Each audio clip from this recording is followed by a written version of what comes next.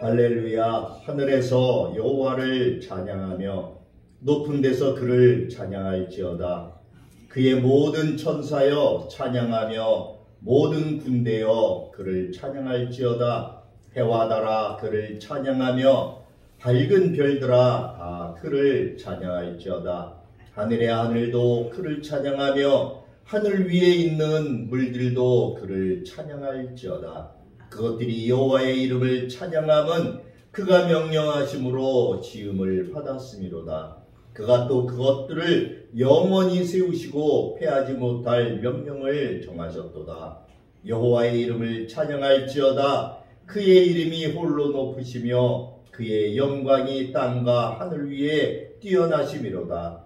그가 그의 백성의 뿔을 높이셨으니 그는 모든 성도 곧 그를 가까이 하는 백성 이스라엘 자손의 찬양 받으실 이시로다. 할렐루야. 고맙고 고마우신 하나님 아버지 감사를 드립니다.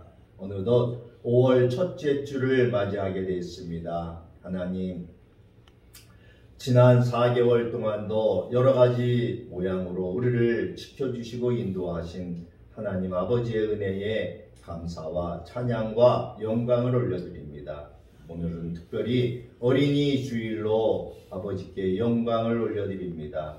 너희가 이 어린아이와 같지 않고서는 천국에 올 자가 없다고 말씀하신 것처럼 하나님 우리가 이 어린아이들처럼 순수한 마음이 되게 하시고 또 어린아이처럼 우리의 마음이 순결하게 도와 주옵소서 하나님을 찬양하며 하나님을 높여드리는 귀하고 복된 날 되도록 인도하여 주옵소서 특별히 어린이날을 맞은 우리 어린이들에게 하나님 하늘의 보고를 열으시고 마음껏 축복하시고 또 그들에게 하나님의 한없는 사랑과 은총을 부어 주옵소서 예수님의 이름으로 기도하옵나이다. 아멘.